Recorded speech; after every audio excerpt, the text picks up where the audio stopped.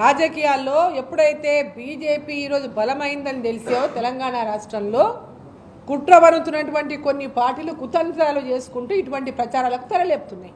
కర్ణాటక ఎలక్షన్కి తెలంగాణ ఎలక్షన్కి సంబంధమే లేదు. అక్కడ ఎన్నికల వాతావరణం వేరే మన ఎన్నికల వాతావరణం వేరే. భారతీయ జనతా పార్టీ ఓటు శాతం తగ్గలేదు.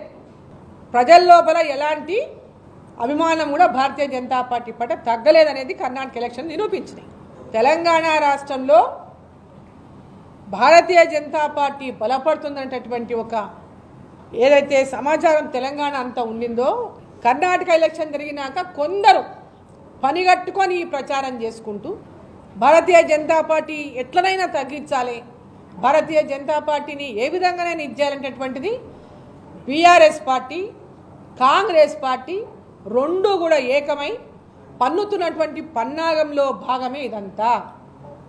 కాంగ్రెస్ పార్టీని ఏ విధంగా కూడా ఈ రాష్ట్రంలో అధికారంలోకి రాదు. భారతీయ జనతా పార్టీ అధికారంలోకి వచ్చే అవకాశం ఉందని భారతీయ జనతా పార్టీని అణిచివేస్తే కొంత కాంగ్రెస్ పార్టీకి మేలు చేస్తే నేను లాభపడతా అని బీఆర్ఎస్ పార్టీ కాంగ్రెస్ పార్టీ ఏకమై మనం ఇద్దరం గెలుచుకుంటే చాలు అనేటువంటి ఒక దృక్పథంతో వాళ్ళు ఆడుతున్నటువంటి నాటకంలో భాగమే. ఇవన్నీ ఒక మైండ్ గేమ్స్ ఆడుతుంటారు కొందరు. రాజకీయాల దగ్గరకు వస్తున్నప్పుడు మైండ్ గేమ్స్ ఆడుతుంటారు.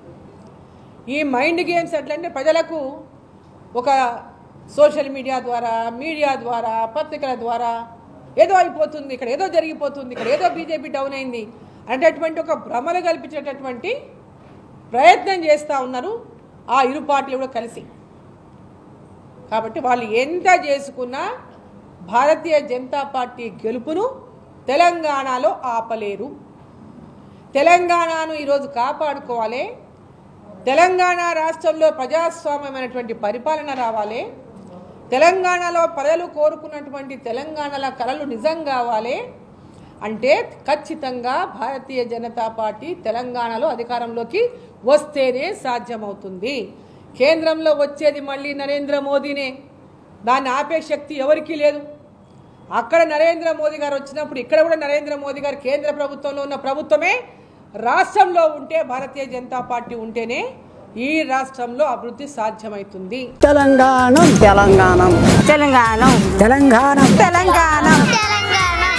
తెలంగాణం. తెలంగాణ. తెలంగాణం. మన పేపర్ వస్తుంది.